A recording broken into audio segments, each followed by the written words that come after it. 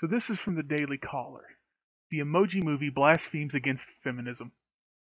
It's bad enough that emojis exist in the first place, let alone there's something coming out this week called the Emoji Movie. But now people are actually upset about a tweet promoting the movie because it offends their religion feminism. The Emoji Movie, which hit theaters Friday, is drawing criticism online for a questionable tweet parodying Hulu's dystopian series The Handmaid's Tale. The tweet in question featured an emoji donned in a handmaid's robe with the caption, a smartphone original, The Emoji's Tale. The tweet read, Blessed be the emoji. What?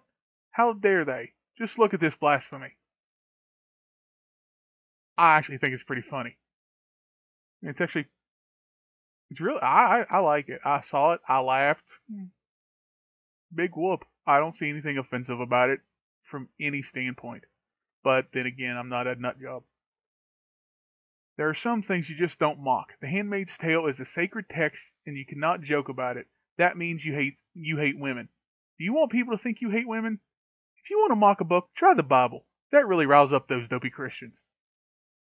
If the marketing team behind this movie thought people would get a kick out of a mild joke about a popular television program, they know better now.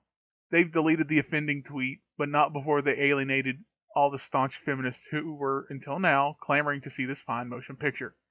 Let this be a lesson to you, Hollywood. That's not funny. Shut up.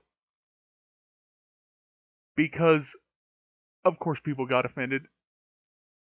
Oh. When did people lose their sense of humor? I mean, really. I don't get when how people just all of a sudden lost their sense of humor and got a stick so far up their ass they're tasting bark. They need to lighten up, relax, and move on. It's a joke. You nuts. I mean, the movie's going to suck anyway because it's about emojis. Come on. You couldn't even make a good kids film out of this, and that's probably what it is. I'm talking, you know, made for TV D-list crap wouldn't even be good. But then again, you know, it is what it is.